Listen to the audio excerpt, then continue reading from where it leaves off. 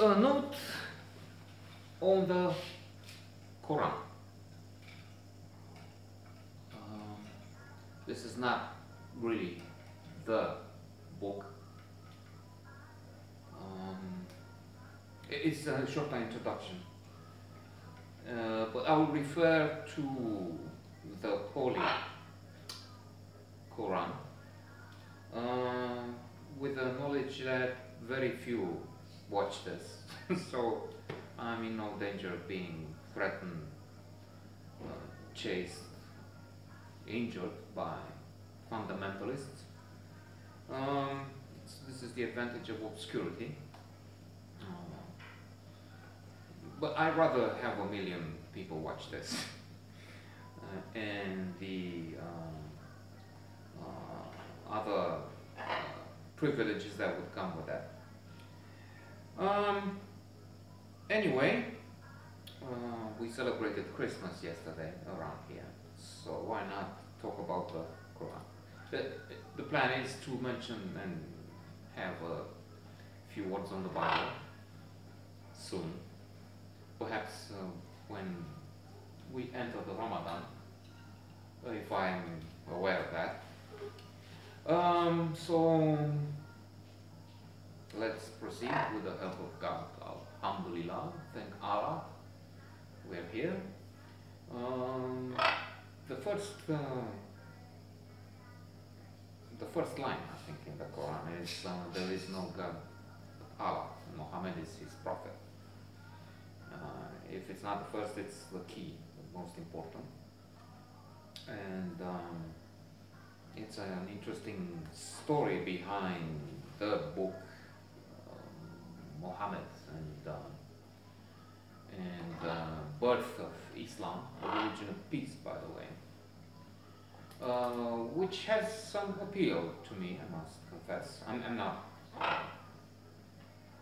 religious, nevertheless. I don't follow Quran, Bible, or any other uh, text uh, yet.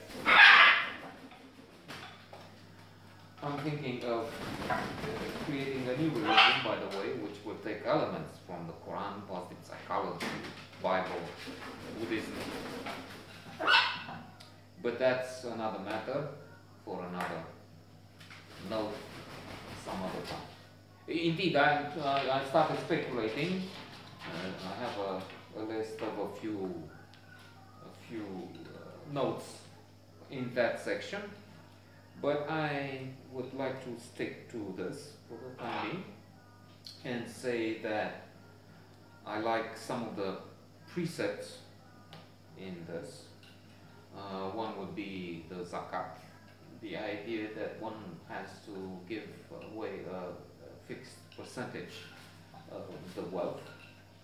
Uh, and if my understanding is correct, it applies especially to those who have something to share, if not a significant wealth, at least a situation to speak about. It's not, I hope, no, I'm just speculating, I think, uh, on what I read uh, about the Quran and what I remember more exactly. Um, so I'm just uh, thinking it can't be the case for the one who has five uh, uh, Egyptian pounds, let's say, he's required to part with one when he's so poor.